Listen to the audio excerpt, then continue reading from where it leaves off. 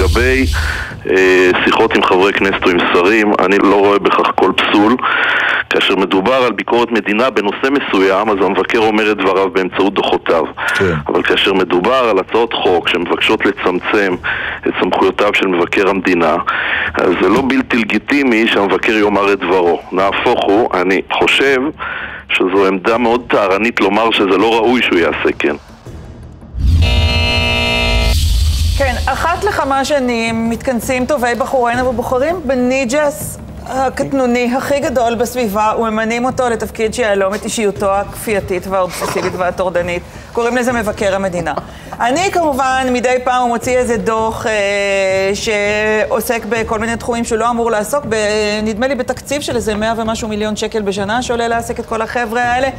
איזה כיף ואיזו שמחה לגלות שהמפקד, אה, המבקר הנוכחי, אה, שפירא, אה, ניסה לשכור לוביסט כדי שיעשה לובינג נגד חוקים שתפקידם אולי אה, איכשהו לצמצם חלק מהחירויות שמבקר המדינה, כמו כל גוף שאינו נבחר בארץ, מנסה לקחת לעצמו.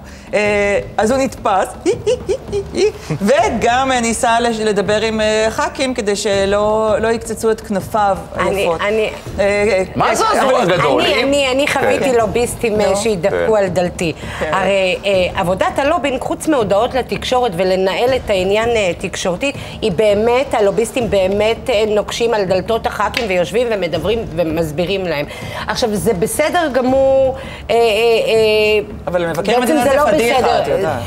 אני, אני אסביר לך למה. תראי, גם התאגיד, כשלקח חברת לובין כדי שתנהל אותו סביב כל העניין, זה גם היה לא תקין. וגם ליאור חורב למפכ"ל, שזה ככה מאותה משפחה, כן, זה גם לא. תקין.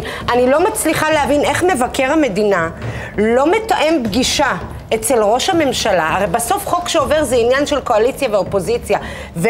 פותר את זה מול ראש הממשלה. חברת לובינג, לפנות לח"כים עצמם. הם עושים עבודה טובה. לא יודעת, מישהו צריך לבדוק מה קורה שם. אנחנו הולכים כולנו לאפודים זוהרים באוטו בגלל... אני אגיד משפט אחד, תיתנו לי לדבר יותר במקומות אחרים. מה שענבל אמרה, אני לא מבין מה אתם מתפלאים. אם מפכ"ל המשטרה לוקח יועץ את ליאור חורב, אז מבקר המדינה יכול לקחת לובינג, זה הכל. אבל כאן הוא צריך להיות Mister Clean. הוא צריך להיות הדוגמה, הוא צריך להיות הסמל. והמפכ"ל לא צריך להיות Mister Clean. הוא זה שצריך אחרי זה להעביר ביקורת, ולמתוח ביקורת על תופעות מהסוג הזה. עכשיו אני חייב להגיד משהו, גם אני הייתי בכנסת כעוזר פרלמנטרי, והלוביסטים האלה... היית יכול להיות ח"כ הלוביסטים האלה, אם הייתם בוחרים בנו. אבל הלוביסטים, את יכולה עדיין, יש הזדמנות גם בבחירות הקרובות. עכשיו, הלוביסטים האלה... הלוביסטים, קרובות מאוד לדעתי. הלוביסטים האלה, הם, הם מביאים לך הרבה פעמים נתונים שהם אמיתיים, שהם נכונים. רק דבר אחד יש לי בעיה איתם, שיגידו את האינטרסים שלהם, שיבואו ישר ויגידו, אנחנו מייצגים ככה. הם אומרים לך, לא אומרים, אומרים, לא. עכשיו גם יש את החוק... לא תמיד, הרבה פעמים הם לא- אומרים, הם גם מסתובבים עם טאג, לפני כן סתם היו יכולים לתפוס איתך שיחה ככה במזנון. בתקופה שאנחנו היינו... איתמר, אתה מהיחידים שאני חשה אצלם קרבה, שיודעים שמה שבעייתי פה זה שגופים שהם לא נבחרי ציבור חושבים שהם אה, המדינה. שזה לעיתים בית המשפט העליון, עכשיו המשטרה, שזה סוג של, אה, של הידרדרות.